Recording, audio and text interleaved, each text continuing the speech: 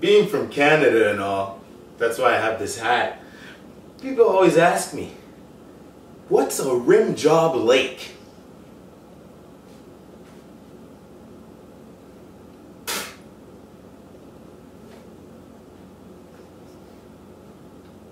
Brad Facts. Now before I roll this, I roll a big split. DJ laugh basement where the magic happen. Clack a boo into the brain. Flick the needle, then shove it in your vein.